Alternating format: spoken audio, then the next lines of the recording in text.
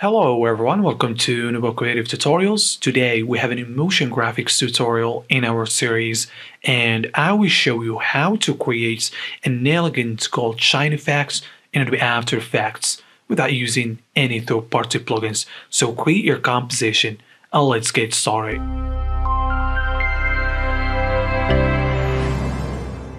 So after create your composition, and as you see here in my comp, I got a few text layers. So basically this is how this title looks like. So first let's start with this text layer here. And so I'm going to add blur and opacity and scale. So all these properties are under these animator one. So I'm going to set blur to five. You can see it's blur out these text and then on range selector I'm going to animate here the offset so we can see what's going on there. It's animate these uh, blur there. So we're going to set that to minus 100 and around 3 seconds. We're going to crank up that to 100% so we're going to have something like this and then I'm going to zero out the opacity. So that's what we're going to have here. Opacity and blur are together animating there. And I'm going to add here scale with it. So it's going to start scaling these characters. So maybe just 80%, that's fine. And as you see here at zero, we still see the text. So we want to start uh, building out the text for us. So here we got advanced and on shape we can change these to ramp up so it's going to start building up the text for us as you see here. And that's what basically we want here. So we got these and we want to add some randomized for these characters. So here we have randomize order. We can set that to on and it's going to randomize this. And it looks very cool and straightforward to create. Of course, here we have the seeds, so we can change that. And also here we have ease high and ease low. So basically, this is just like easy ease for the ramp up. So I'm going to set that to 70 and low to 50%. So we're going to have something like this. Okay, so now I'm going to add tracking. So make sure I'm not selecting the animator one and then add tracking. So now we have animator two.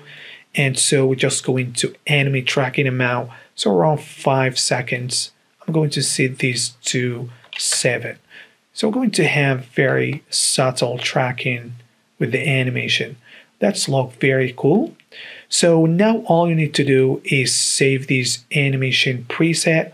So you can apply it to the other text layer. And I already did that. So here I'm just going to apply these preset to these ones. So we got the animation right away right there.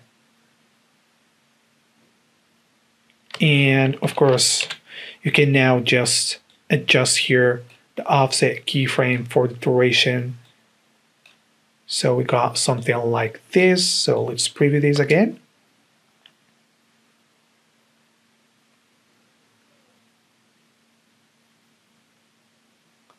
That's look pretty cool. So now I'm going to add ramp, gradient ramp here and change start to white and these two radial, the shape in the star we want to start that in the middle and the end. We want to give that a gray color. So now you can basically see what's going on there. Something like this. And that's going to be helpful later for the look of the text. So let's copy that to this one right here and just change the start and end a little bit for this so you can See, we got some nice gradient on that. And now I'm going to pre-compose these. So this is going to be title 001, move all attributes and hit OK. So now all we need to do here is start stylize this. So I'm going to create a new adjustment layer and that's going to be light rays. and then I'm going to add CC radial fast blur here. You can see by adding that, we got something like this. Very cool. And so here I'm going to change the zoom to brightest and crank up this amount to 95. And we got something like this.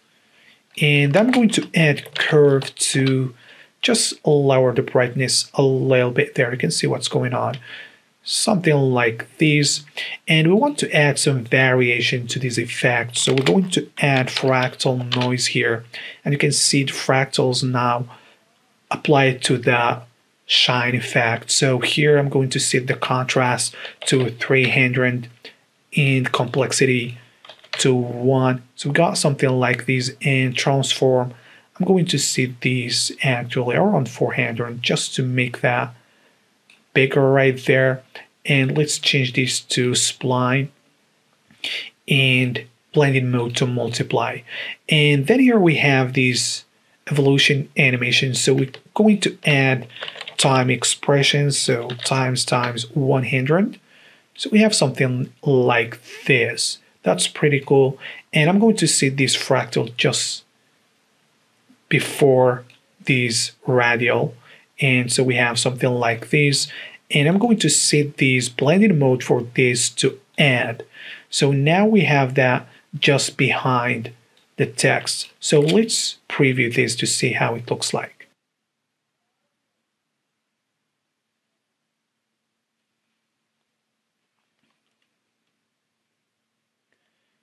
So as you see, this look pretty cool. So for now, you can see we got a little bit of problem here right there. All you need to do is add a new adjustment or actually um, solid layer. Make sure it's black and let's put it just behind everything there. You can see now it's fixed the problem for on the text there.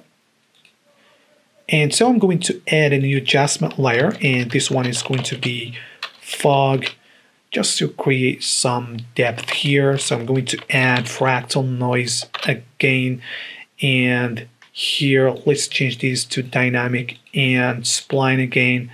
And here let's set this to forte and minus 35 so we have something like this and complexity to 1 again and just crank up these scales around something like that. And animating it. So times times forte so now it is animating here.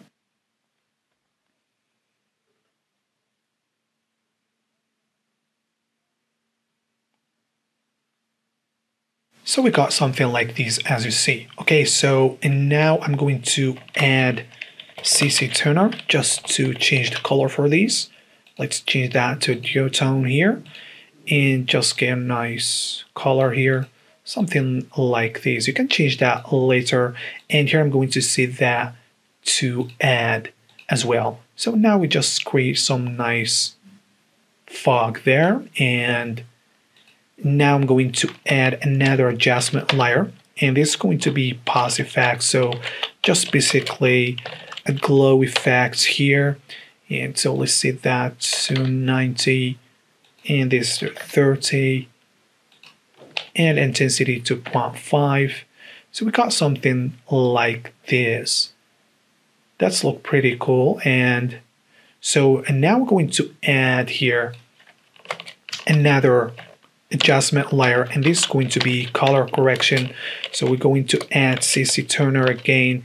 And for the highlights, I'm going to choose a bright yellow there, something like that. You can see what's going on here and I'm going to add Lumetri color.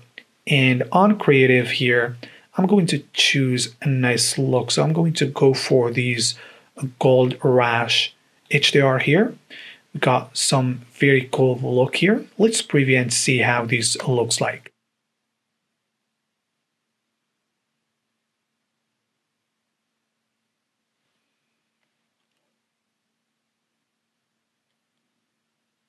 So you can see we got something very cool here. Just make sure your comp set to 32 bit per channel.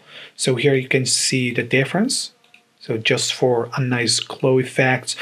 And so and now basically we almost did everything. So here on light rays, we can actually change here these offset turbulence. You can see how that changed the look, which is very interesting and very cool. You can also animate that if you want to. So I'm going to leave that at the center. The same for fog as well. You can change the look for that which is give a different looks. And so, and now we need to stylize this for a little bit more here. So all I need to do here, I'm going to add this flare here. And you can see by adding that, so basically this is how it look. And we have animation there. And just by adding that, it's also got all these look and effects. So here I'm going to set that to lighten here. And let's see these start just right there and I'm going to add here transform and we want these flare to just get into place so just right there and then I'm going to add fast box blur here and change these dimension to horizontal and crank up these blur so we can see now we're changing how that lens blur or lens flare looks right there. So here we can also add curve to to actually adjust the brightness of that. So something like these. You can see something like this. We got it right there, so maybe we need more blur there, so 300. And so let's preview this and see how it looks like.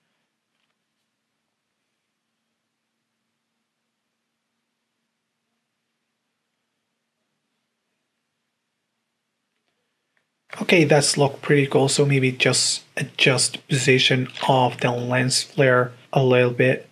Okay, so that's fine. And so we need to add some depth to these. So you can just add here some particles. There's a lot free out there and that's going to really give us a nice look here. So basically this is how it look these particles here. So by adding that you can see it's also got the nice shine look for these particles here. So this is how the particles look and with all these stuff, you can see we got some nice like volumetric light there. And here we're going to change the blending mode to these as well. And here we can just mask here the center. Let's invert that MM to feather these.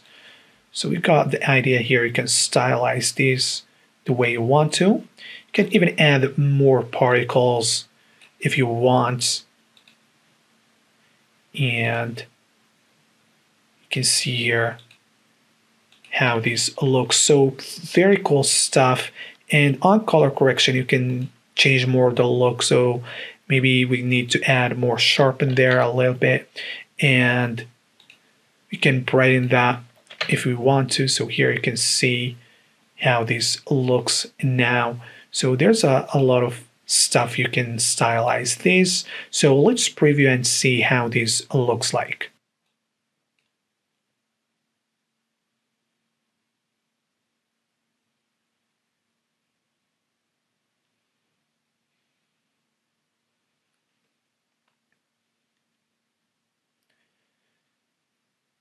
So as you see, these look pretty cool. So maybe these particles are fast. So just adding time remap here to slow these a little bit here.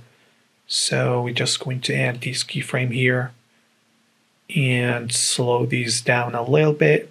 And also here you can basically change these or animate the center here for different looks as you see here.